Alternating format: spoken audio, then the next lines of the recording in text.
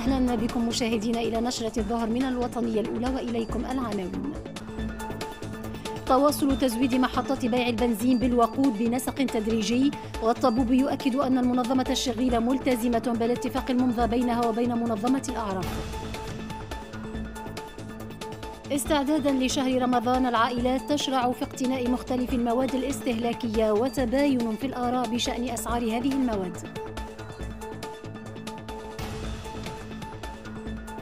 مقتل ثمانية جنود في هجوم استهدف معسكر تدريب تابع لقوات شرق ليبيا بقيادة خليفة حفتر جنوب ليبيا. أهلا بكم. يتواصل بنسق تدريجي تزويد محطات بيع البنزين بالوقود تنفيذا لقرار أصدره رئيس الحكومة يوسف الشاهد أمسي. ووفق وزارة الصناعة والمؤسسات الصغرى والمتوسطة فإنه تم برمجة 140 سفرا انطلاقا من صباح اليوم لتشمل مختلف ولايات الجمهورية وبالخصوص المناطق الداخلية موضحة في بيان أن عددا من الشركات البترولية سخرت أمس شاحنات لتقوم بتوزيع الوقود على محطات محطات بيع البنزين لتبلغ مجمل هذه السفرات حوالي 80 سفرة بكمية جملية تقدر ب 32 ألف متر مكعب من الوقود انطلاقا من رادس وصخيرة وجرزونة. وأضافت الوزارة أن الوقود متوفر بمختلف الولايات وأنها تسعى جاهدة إلى تلافي الإرباك وتعطل مصالح المواطنين. وكان أعوان نقل المحروقات واصلوا إضرابهم المقرر لأيام الثاني والثالث والرابع من ماي الجاري رغم التوصل إلى اتفاق في الجلسة التي انعقدت الخميس بمقر وزارة النقل بحضور وزيري النقل والصناعة ورئيس اتحاد الصناعة والتجارة وأعضاء الجامعة العامة. للنقل وفي هذا الصدد قال الأمين العام للمنظمة الشغيلة نور الدين الطبوبي إن المنظمة ملتزمة بالاتفاق الممضى بينها وبين منظمة الأعراف وأكد أن سائقي الشاحنات المخصصة لنقل المحروقات استأنفوا عملهم اليوم بعد إلقاء اللقاء الذي جمعهم أمس مع هياكل هياكلهم النقابية بالجامعة العامة للنقل. نتحمل مسؤوليتنا بعد إمضاء الاتفاق. كان عندي رؤية داخل الاتحاد بطبيعة الحال. ما يلتزمش بمبادئ الاتحاد ومقررات معناها مؤسسات الاتحاد وهياكله ما عندوش مكانة في الاتحاد العام التونسي للشغل فالبارح بعد لقاء طلبوه معناها هيكلهم النقابية مع الأمين العام المساعد في القطاع الخاص ومع الجامعة العامة للنقل واليوم رجعت الناس كلها تشتغل بصفة عادية ونتعلموا كلهم الاخطاء نتاعنا وقدرنا كيف معناها ننمي الوعي نتاع روح المسؤولية فهمني أكثر ما يمكن اليوم في حاجة ليه لبلادنا. في الشأن الأمني أوردت وزارة الداخلية في بلاغ لها أن الوحدات الأمنية تمكنت من الحصول على معطيات على غاية من الأهمية وإحباط عمليات إرهابية يجرى التخطيط لتنفيذها خلال شهر رمضان. وذلك في إطار مواصلة العملية الأمنية التي تم القيام بها بجهة القصرين غرة ماي الجاري والتي أسفرت عن الإيقاع بالعنصر الإرهابي الخطير رائد التواتي. وأضاف البلاغ أن الجهود لا تزال متواصلة لإلقاء القبض على أحد العناصر الخطيرة المرتبطة بالمجموعة المذكورة والذي يتحصن بالفرار. مع اقتراب شهر رمضان تكثف العائلات التونسية هذه الأيام استعداداتها للشهر الكريم من خلال اقتناء مختلف المواد الاستهلاكية. كاميرا الأخبار رصدت الاستعدادات في ولاية جابس حيث تباينت آراء المواطنين بشأن أسعار هذه المواد. تقييم الأسعار اختلف من مواطن إلى آخر ولكن الإجماع كان حاصلا حول ضرورة عقلنة الأسعار ومراعاة المقدرة الشرائية للمواطن التي تدهورت بشكل لافت. يلزم يرعونا يرعوا الزوالي اللي ما عندهش اللي ما يخدمش البطال اللي حتى بابا عائلة وفرد واحد في العائله ما عادش يقيم حتى شيء. فما حاجات معناتها غالية شوية وفما حاجات معناها في متناول المجموعة.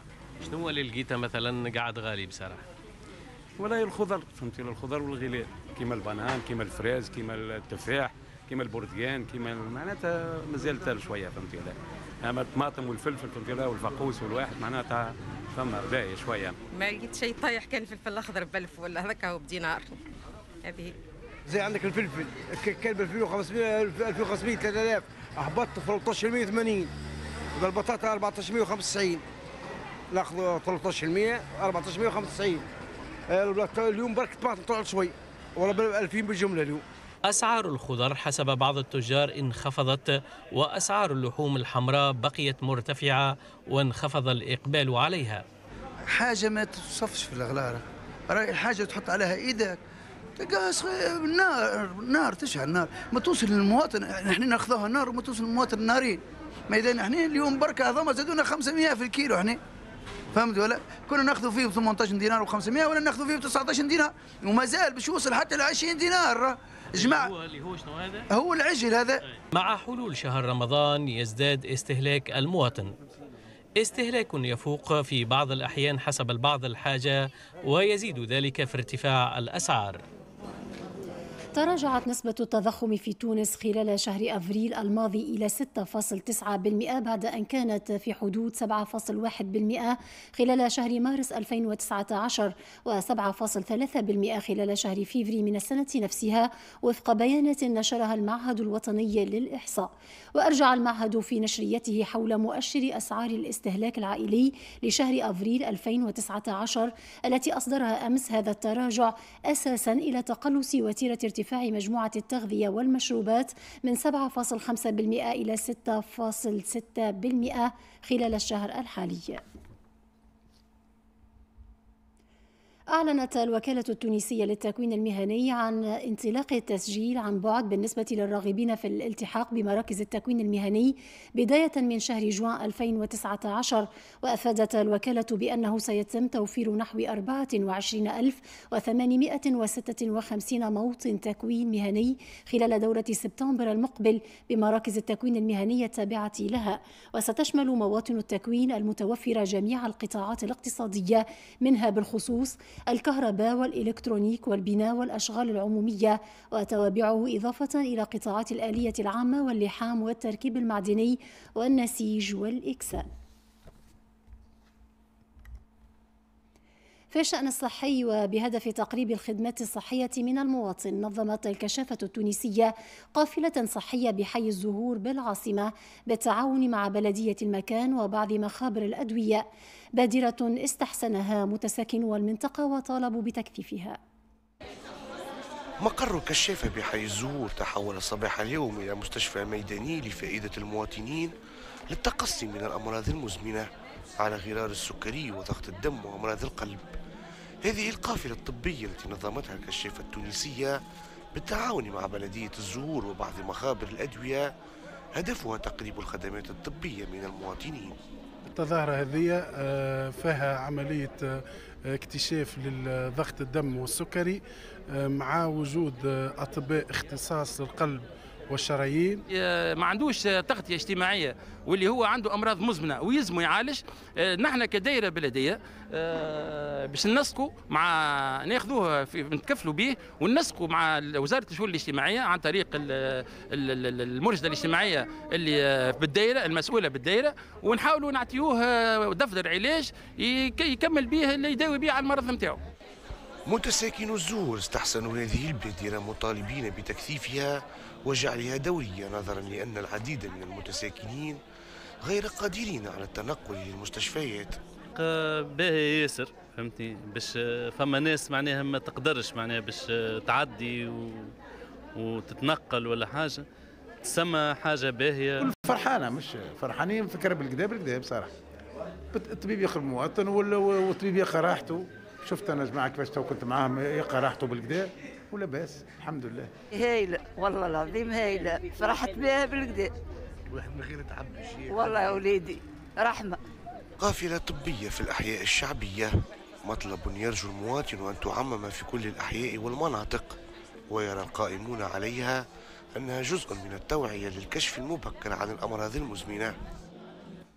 وفي معتمدية ذهيب الحدودية نظمت الإدارة الجهوية للصحة بتطاوين بالتعاون مع عدد من الجمعيات قافلة صحية في مسعى للحد من نقص أطباء الاختصاص بالجهة. في معتمدية ذهيب الحدودية هو الإشكال ذاته المستمر منذ سنوات عديدة بنقص الأطباء المختصين والخدمات الصحية في الطب العام وكذلك الإطارات الشبه الطبية في هذه المعتمدية. إلى جانب استمرار التسيير الإداري المزدوج بين المستشفى المحلي برمادة ومركز الصحة الأساسية بذهبة وتداعياته على هذه الخدمات الصحية. طالبوا بفصل مستشفى ذهبة على مستشفى الرماطة فهمت اللي ما عادش يحتملوا بعدين إحنا هذا المناطق المجاورة لأن المناطق الليبية كلهم يجوا يعالجوا هنا في مستشفى ذهبة هذه الحاجة الأولى. ونطالبوا كذلك بطب أسنان يعني الكرسي موجود والطبيب الأسنان مش موجود.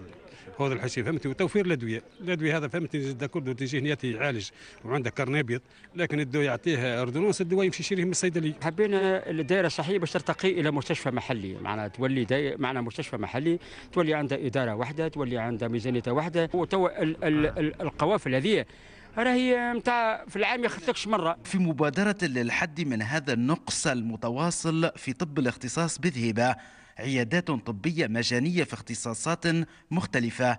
أمنها أساتذة وأطباء في سياق قافلة نظمتها الإدارة الشهوية للصحة بتطاوين بالتعاون مع عديد الجمعيات في معتمدية ذهبة الهدف من القافلة هذه اللي تضم عديد الاختصاصات الصدرية آه، أمراض النساء أمراض العيون أمراض القلب والطب العام. دونك هذاك علاش حبينا إحنا نسهلوا على أهالينا في في ذهيبه اللي هي منطقة حدودية؟ مهم جدا أن إحنا نجيو لهنا ونباشروا ونشوفوا حالات اللي هي ثم حالات هامة جدا وتستحق العناية والتركيز وتستحق المتابعة. فما طبيب أسنان إن شاء الله تري بيانتو باش يكون معناها في في في جهة ذهيبة ومع ذلك وعلى أهمية ما قدمته هذه القافلة من خدمات صحية بذهبة ينتظر الأهالي تدخلات دائمة وحقيقية لحل معضلة الخدمات الصحية بهذه المعتمدية. أكد الأمين العام للاتحاد العام التونسي للشغل خلال اختتامه للمنتدى الذي عقد صباح اليوم وتناول دور المنظمة في الانتخابات المقبلة والمسار الانتقالي. أكد أن المنظمة لها من النضج السياسي ما يخول لها قراءة الواقع سياسيا واقتصاديا واجتماعيا. وأوضح أن مساهمة المنظمة الشغيلة تتجه في مرحلة أولى نحو الدفع لإنجاح الاستحقاقات الانتخابية لوجستيا من خلال تحفيز المواطن على ضرورة التسجيل. إحنا الاتحاد ما نجموش ندخلوا بقائمات خاصة بنا فهمت؟ ولكن النقابيات والنقابين اللي هم في أحزاب من حقهم يترشحوا في الأحزاب نتاعهم اللي ماهوش في أحزاب ويحب يترشح في قائمات مستقلة له حرية الاختيار ولكن ليس باسم الاتحاد العام التونسي للشغل. وشكون مساهمة كذلك بمراقبة الانتخابات ما قبل الانتخابات وأثناء الانتخابات باش هكاك معناها نحافظوا على الفرصة اللي جاتنا نتاع التعايش الديمقراطي والممارسة الديمقراطية. باش يكون على مستوى المضمون كذلك اللي من خلال البرنامج الاقتصادي والاجتماعي في موضوع متعلق بالشأن الإعلامي نظمت الهيئة العليا المستقلة للاتصال السمعي البصري بالتعاون مع منظمة المادة 19 نظمت تظاهرة الأبواب المفتوحة بهدف تسليط الضوء على عمل وحدة الرصد بالهيئة والتقنيات المعتمدة خلال هذه العملية. تظاهرة تهدف إلى التعريف بعمل وحدة رصد الإعلام السمعي البصري بالهيئة العليا المستقلة للاتصال السمعي والبصري والتقنيات المعتمدة في هذه العملية إضافة إلى تسليط الضوء على دور فريق وحدة الرصد في حماية حرية الإعلام والتوقي من خطابات الكراهية والتصدي لها. قدمنا تدريبات لهذا الفريق في هذا المجال بالتحديد. الدور الموكول للفريق هو طبعا رصد الحالات التي يرى فيها الراصدون يعني تجاوز لحرية الإعلام ويرفعها لمجلس الهيئة للقيام بالقرارات اللازمة. من جهتها أكدت عضو الهيئة العليا المستقلة للاتصال السمعي والبصري رضي السعيدي أن وحدة الرصد تعتبر العمود الفقري لعمل الهيئة خاصة وأنها الجهة التي تسهر على رصد الإخلالات والتجاوزات. في المضامين الإعلامية. كذلك هي مطالبة برصد التعددية والقيام بمختلف التقارير اللازمة سواء خلال الفترات الانتخابية أو خارجها وكذلك نقوم بجملة من التقارير والدراسات حول مجموعة من المواضيع سواء المتعلقة بالمرأة بالطفل أو غيرها. وباعتبار أن خطاب الكراهية يمثل خطرا على النظام الديمقراطي فإن عملية التصدي له تمثل مسألة جوهرية لكن دون المساس من حرية التعبير والإعلام. هناك أصناف متعددة حسب المعايير الدولية. هناك خطاب الكراهية الصنف الخطير وهذا الصنف مثلا التحريض على القتل أو التحريض على العنف أو الدعوة إلى الحرب. هذا الصنف من الخطاب يجب التعامل معه بالعقوبات السجنية. الصنف الثاني من العقاب من من خطاب الكراهية هو خطاب الكراهية الذي يحمل نوع من العنف لكن لا يدعو إلى القتل. وهذا الصنف يجب التعامل معه بالعقوبات الإدارية والعقوبات المدنية مثل العقوبات التي تسلطها هيئة الاتصال السمعي البصري. خطابات كراهية يجب التعامل معها ليس بمقتضى العقوبات بل بمنطق فتح باب الحوار ومحاولة إقناع الآخر للإيمان بثلاثة قيم أساسية وهي قيم التفتح التسامح والتعدد. ومع اقتراب موعد الانتخابات التشريعية والرئاسية واحتدام المنافسة بين الأطراف السياسية يرى مراقبون أن منسوب خطاب الكراهية يشهد ارتفاعا وتؤكد الهيئة أنها بالمرصاد له لتنقية المناخ الانتخابي. حملت الجامعة التونسية لمديري الصحف الحكومة مسؤولية الوضع المأساوي الذي تعيشه الصحافة المكتوبة بسبب ما وصفته بمماطلتها في تطبيق الإجراءات التي من شأنها أن تساعد على ضمان ديمومة هذا القطاع. وأوضحت في بيان أصدرته اليوم بمناسبة اليوم العالمي لحرية الصحافة أن العديد من الصحف الورقية توقفت نهائيا عن الصدور وغيرت أخريات دوريتها وانقطعت صحف رقمية عديدة عن النشر فيما يتهدد المصير نفسه العديد من الباقيات مشيرة إلى أن مؤسستين اضطرتا إلى تسريح العشرات من الأعوان بالنظر إلى تراكم الصعوبات التي تواجهها منذ 2011 وغياب أي مبادرة للحيلولة دونها. دونها. في جديد الوضع في الجوار الليبي. أعلن رئيس بلدية سبها أن ثمانية جنود قتلوا صباح اليوم في هجوم استهدف معسكر تدريب تابع لقوات المشير خليفة حفتر في المنطقة العسكرية بسبها جنوب البلاد. وفيما لم يتم تحديد هوية المهاجمين فإن مصدرا بقوات شرق ليبيا اتهم عناصر داعش الإرهابي ومسلحين من المعارضة التشادية لتنفيذ هذا الهجوم. وقد وصلت تعزيزات عسكرية تابعة للجيش الوطني الليبي إلى موقع الهجوم حيث قامت بفك الحصار عن الكتيبة التي تعرضت للهجوم. في الأثناء وفي ضوء الاشتباكات حول العاصمة طرابلس أعلنت قوات أو قوات حكومة الوفاق سيطرتها على تمركزات تابعة لقوات حفتر في محور وادي الربيع حيث دمرت عددا من الآليات معلنة بدء تمشيط المناطق المسيطر عليها. في الأراضي الفلسطينية المحتلة استشهد أربعة فلسطينيين اثنان منهم في مسيرة العودة برصاص قوات الاحتلال الإسرائيلي وآخران في قصف إسرائيلي استهدف القطاع. في الأثناء توعدت المقاومة الفلسطينية بالرد على هذا العدوان. ارتفع عدد الشهداء الفلسطينيين الذين سقطوا برصاص قوات الاحتلال الإسرائيلي في قطاع غزة إلى أربعة باستشهاد أحدهم فجر اليوم متأثرا بجروحه البليغة التي أصيب بها خلال مسيرة العودة وكسر الحصار شرق البريج وسط القطاع. وكان ثلاثة آخرون قد سقطوا إما بالرصاص أو في غارة جوية شنها الطيران الحربي الإسرائيلي على مخيم المغازي في غزة. وتنضاف هذه الحصيلة إلى ستة فلسطينيين آخرين سقطوا برصاص قوات الاحتلال الإسرائيلي خلال شهر أفريل الماضي بكل من قطاع غزة والضفة الغربية المحتلة. وقد دعت قيادة غرفة العملية المشتركة للفصائل الفلسطينية في قطاع غزة لرفع جاهزية دفاعاتها ردا على جرائم الاحتلال المتواصلة. وآخرها قيام الطيران الحربي بشن سلسلة غارات على القطاع ما أدى إلى إصابة عدد كبير من الفلسطينيين. واستهدفت طائرة الاحتلال سيارة تابعة للمقاومة الفلسطينية في بيت حانون شمال القطاع. فيما ردت المقاومة الفلسطينية باستهداف بعض المستوطنات الإسرائيلية بعدد من الصواريخ. وكرد على هذه التطورات أغلق الجيش الإسرائيلي عدة مناطق محاذية للسياج الأمني لقطاع غزة في إعلان لحالة استنفار أمني سيما بعد تأكد إصابة جنديين إسرائيليين. تأتي هذه التطورات الميدانية بعد نحو شهر من الهدوء النسبي لتنسف تفاهمات التهدئة بين الفصائل الفلسطينية والقوات الإسرائيلية التي رعتها كل من مصر والأمم المتحدة. خلال اجتماع عقد في العاصمة الأثيوبية أديس أبابا اتفق طرفا النزاع في السودان على تمديد فترة تشكيل حكومة وحدة وطنية لستة أشهر إضافية وفق بيان الهيئة الحكومية للتنمية لدول شرق أفريقيا. وقد أرجع الجانبان سبب التمديد إلى ما اعتبروه غياب الإرادة السياسية والتمويل الكافي لتنفيذ المهام الحيوية المعلقة. جاء ذلك غداة إعلان الإذاعة الرسمية بجنوب السودان أن الرئيس سيلفاكير رفع حالة الطوارئ في مناطق شمال في مناطق شمال البلاد في إطار جهود للمساعدة في إنهاء الحرب الأهلية.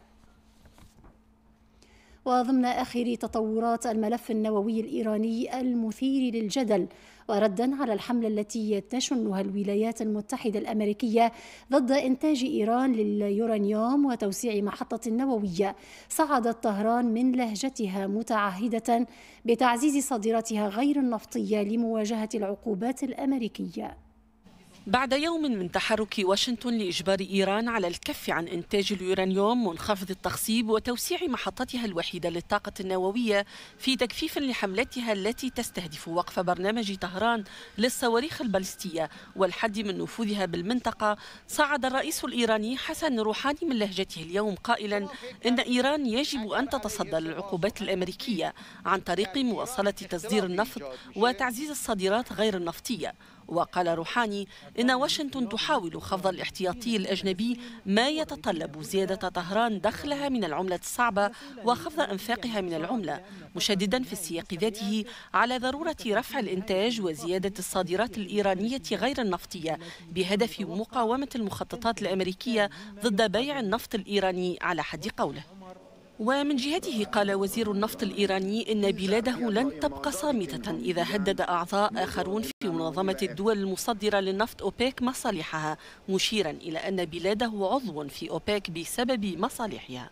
تأتي هذه التصريحات شديدة اللهجة غداة ثالث إجراء عقابي ضد إيران في غضون ثلاثة أسابيع بعد إعلان الولايات المتحدة الأمريكية فرض عقوبات على الصادرات الإيرانية من اليورانيوم المخصب التي يجيزها الاتفاق النووي تزامنا مع دخول قرار الرئيس الأمريكي دونالد ترامب حيز التنفيذ أمس والقاضي بوقف الإعفاءات الأمريكية من العقوبات لثمان دول من كبار مستوردي النفط الإيراني وهي الصين والهند وكوريا الجنوبية الغربية واليابان وتركيا وتايوان وإيطاليا واليونان.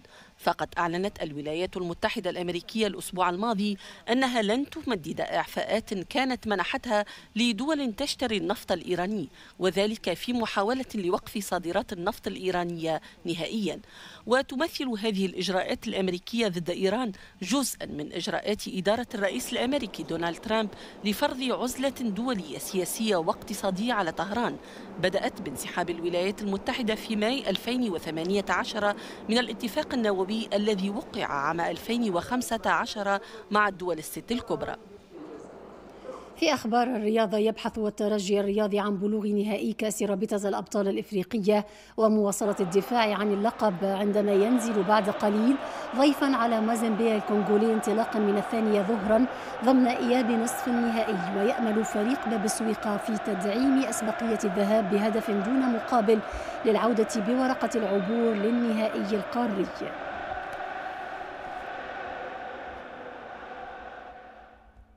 سيكون الموعد عشية اليوم مع نهائي كأس تونس للكرة الطائرة والذي سيجمع النجم الرياضي الساحلي بالترجي الرياضي التونسي بالقاعة الأولمبية برادس بداية من الساعة السادسة.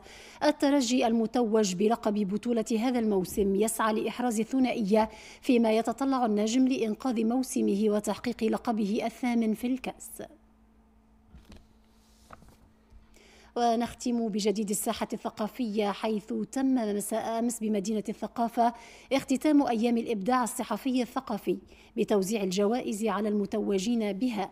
توزيع جوائز هذه التظاهرة التي تندرج في إطار الاحتفال باليوم العالمي لحرية الصحافة كان خلال حفل فني أحيته الفنانة روضة عبد الله.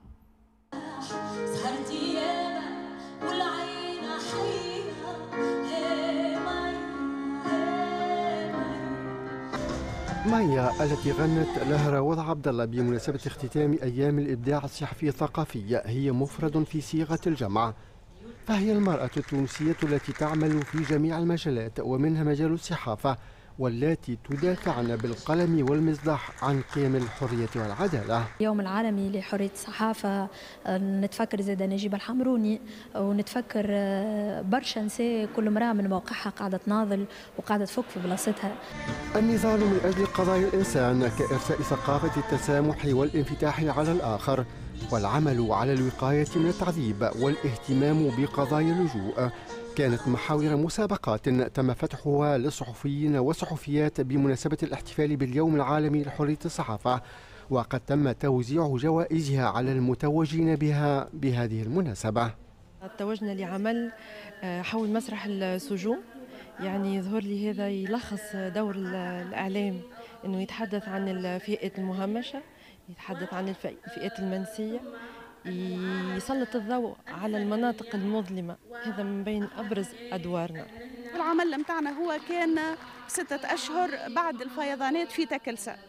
يعني هو الهام فيه إنه نحن وصلنا صوت المواطن التونسي.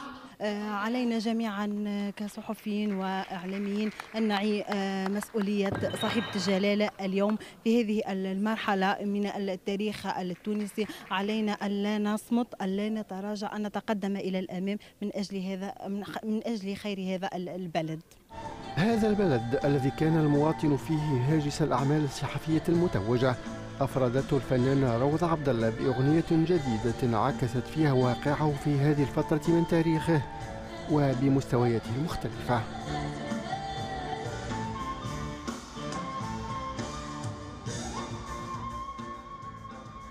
ختام النشرة وهذا تذكير بالعناوين.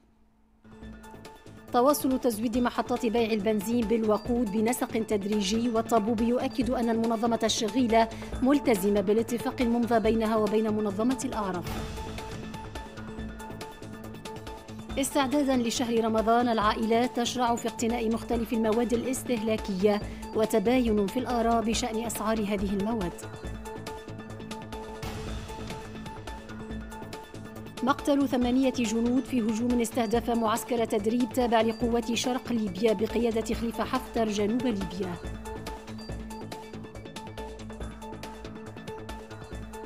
وبإمكانكم مشاهدينا متابعة هذه النشرة والمزيد من الأخبار على بوابة التلفزة التونسية. شكرا على المتابعة إلى اللقاء.